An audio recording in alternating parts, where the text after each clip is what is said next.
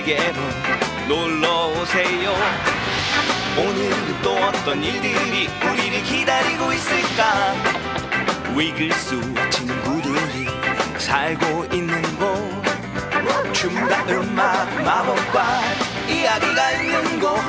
여긴 위글스원 신나는 위글스원 모두 다 같이 신나게 놀아요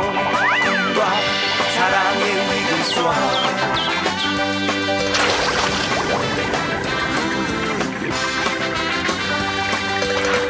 안녕 친구들 여긴 위글스원 신나는 위글스원 모두 다 같이 신나게 놀아요.